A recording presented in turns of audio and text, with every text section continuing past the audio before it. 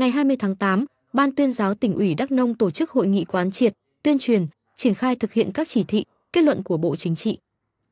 Phát biểu tại hội nghị, đồng chí Vũ Tá Long, tỉnh ủy viên, Phó trưởng ban thường trực Ban tuyên giáo tỉnh ủy đề nghị để các chỉ thị, kết luận của Bộ Chính trị và chương trình hành động của Ban Thường vụ tỉnh ủy nhanh chóng đi vào cuộc sống, các cấp ủy Đảng tiếp tục lãnh đạo, chỉ đạo triển khai quán triệt và tổ chức thực hiện.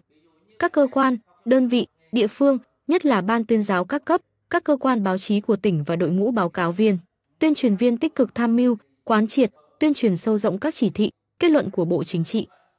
Hội nghị đã nghe quán triệt 4 văn bản của Bộ Chính trị gồm chỉ thị số 29 về công tác phổ cập giáo dục, giáo dục bắt buộc, xóa mù chữ cho người lớn và đẩy mạnh phân luồng học sinh trong giáo dục phổ thông. Chỉ thị số 28 về tăng cường công tác chăm sóc, giáo dục và bảo vệ trẻ em đáp ứng yêu cầu phát triển đất nước phồn vinh, hạnh phúc. Kết luận số 69 về tiếp tục thực hiện nghị quyết số 20 của Ban chấp hành Trung ương Đảng khóa 11 về phát triển khoa học và công nghệ phục vụ sự nghiệp công nghiệp hóa, hiện đại hóa trong điều kiện kinh tế thị trường định hướng xã hội chủ nghĩa và hội nhập quốc tế. Kết luận số 70 về phát triển thể dục, thể thao trong giai đoạn mới và chương trình hành động.